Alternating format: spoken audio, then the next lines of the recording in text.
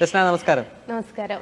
എത്ര നാളായി ശ്രീകൃഷ്ണന്റെ ചിത്രങ്ങൾ വരയ്ക്കാൻ തുടങ്ങിയിട്ട്? ഇപ്പം ഒൻപത് വർഷത്തോളായി ചിത്രം വര തുടങ്ങിയിട്ട്. എന്തുകൊണ്ടാണ് ശ്രീകൃഷ്ണനെ തന്നെ ചൂസ് ചെയ്യാൻ കാരണം? എന്തുകൊണ്ടാണ് എന്ന് ചോദിച്ചാൽ കുട്ടിക്കാലം തൊട്ടേ വീട്ടിൽ കണ്ണാന്ന് വിളിക്കായിരുന്നു. ആര്?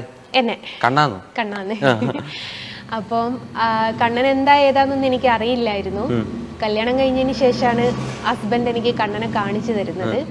അതുവരെ എന്ന് വെച്ചാൽ കണ്ണൻ എന്ന് പറയുന്നത് എന്നെ സംബന്ധിച്ച് ആ പേര് വിളി പേര് മാത്രമായിരുന്നു. ഏറ്റവും വലിയ അപമാനമായിട്ട് തോന്നിയ ഒരു വ്യക്തിയാണ്. കണ്ണെന്നുള്ള പേര്. കണ്ണൻ. എന്ന് വെച്ചാൽ കണ്ണൻകുട്ടി നായർ എന്നൊക്കെ വിളിക്കുക ഇപ്പൊ കണ്ണെന്നുള്ള പേരുള്ളവരെല്ലാം ഇപ്പം ആ ഇപ്പം ഞാൻ അഭിമാനിക്കുന്നു കണ്ണൻ എന്ന് വിളിക്കുന്നതിനും. എത്രാമത്തെ വർഷമാണ് കല്യാണം കഴിഞ്ഞ? രണ്ടായിരത്തി ഒൻപതിലാണ് കല്യാണം കഴിഞ്ഞത്. രണ്ടായിരത്തി ഒമ്പത് വരെ കൃഷ്ണനായിരുന്നു അല്ലെങ്കിൽ കണ്ണനായിരുന്നു അറിയത്തില്ലായിരുന്നു? ഇല്ല എന്താ വെച്ചാൽ ഞാൻ എന്റെ നാട് എന്ന് പറയുന്നത് മുസ്ലിംസ് മാത്രം തിങ്ങി പാർക്കുന്ന ഒരു ഏരിയയാണ് ഹിന്ദുസ് ഉണ്ട് പക്ഷെ കുറവാണ്. അമ്പലങ്ങളില്ല പള്ളി ഇഷ്ടം പോലെ ഉണ്ട്.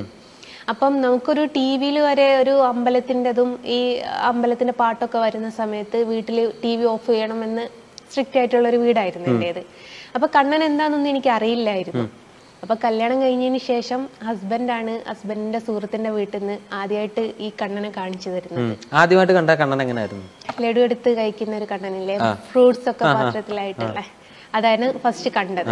അപ്പൊ കണ്ടപ്പം തോന്നിയത് എന്ന് വെച്ചാൽ ഒരു കുട്ടി ഒരു ക്യൂട്ട് ബേബി അത് ഭാവം അപ്പൊ കണ്ടപ്പോ പിന്നെ ഭയങ്കര ഇഷ്ടമായി പിന്നെ കുറെ ഈ അരഞ്ഞാണൊക്കെ കെട്ടിയ കുറെ കണ്ണനെ കണ്ടു. ഭയങ്കര രസം. ഒരു കൗതുകാണല്ലോ കാണുന്നത്. പിന്നീട് പിന്നീട് കണ്ണനെ കാണുമ്പോ ഒക്കെ ശ്രദ്ധിക്കൽ തുടങ്ങി.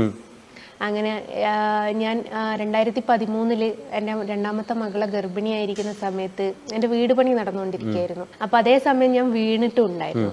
അപ്പൊ ഡോക്ടർ ബെഡ് റെസ്റ്റ് പറഞ്ഞു തീരും അനങ്ങരുത്.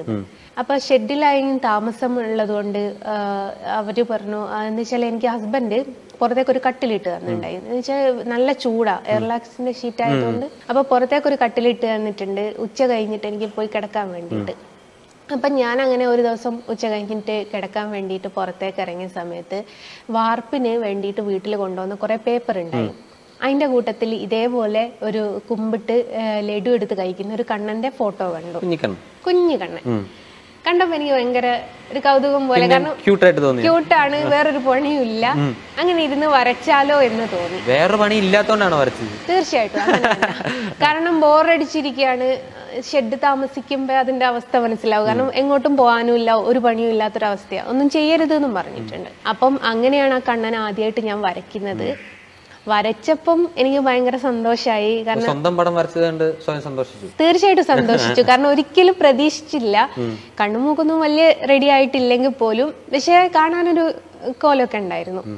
അങ്ങനെ ഹസ്ബൻഡ് പണി കഴിഞ്ഞ് വന്ന സമയത്ത് ഞാൻ ഇത് കാണിച്ചു കൊടുത്തു. കാണിച്ചു കൊടുത്തപ്പോ എന്നോട് പറഞ്ഞു കണ്ണനൊക്കെ അടിപൊളിയാണ്. പക്ഷെ നിന്റെ വീട്ടുകാര് കാണണ്ട. നശിപ്പിച്ച ആൾ പറഞ്ഞു.